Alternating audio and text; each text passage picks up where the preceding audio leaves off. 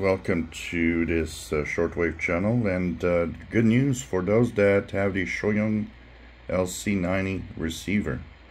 Um, they have updated the firmware so if you go and check out your firmware version um, there's a firmware now that is 4.5 which is the number on the firmware. So this new firmware which updates through your Wi-Fi, all you need is to have a, uh, SD card, a micro SD card in the radio. Um, fixes something that we thought was impossible to fix in firmware. It removes all the birdies from the shortwave bands. Now, even on telescopic, wherever I will tune, it is always clean, nice, good reception.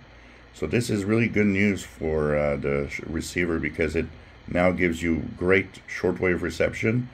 Uh, they still haven't fixed the lower upper sideband tuning, fine tuning, which is kind of weird. But uh, at least birdies are gone from the radio now. So this is good news. Uh, they were really happy to actually uh, send me an email and let me know that uh, they had fixed the problem with a firmware update. So I don't know what the firmware update actually does, but to fix that, I have the impression that they might have been able to shut down part of the uh, smart radio circuit when you're using shortwave bands. So it's really, really cool. So now um, you can tune around, no birdies, no, uh, you know, not being scared that the station you're going to try to tune is going to be, um, you know, with a birdie. So with this change uh, coming up uh, today, tomorrow, the latest, I will actually redo my review of the receiver. So um, what I'll do is I'll probably remove the uh, first review and do a second review that now will be a little better because the receiver now works well.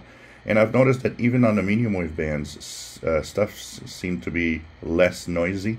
So when you tune around, it doesn't seem to be as noisy as it was before also on medium wave and long wave. So uh, more to come as I will be testing that thoroughly uh, through the day. But it's really good news if you have this radio, you do need to update to 4.5, really a major update. If you enjoy my videos, please subscribe. Thank you for watching.